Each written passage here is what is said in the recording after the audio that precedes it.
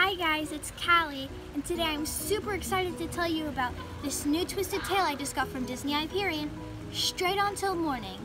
It is a twist on the Peter Pan tale by Liz Braswell, and the twist is, what if Wendy first traveled to Neverland with Captain Hook? This makes me wonder, is Wendy gonna be a villain? If you wanna know what happens, make sure to subscribe to my channel to get a notification when I come out with my review.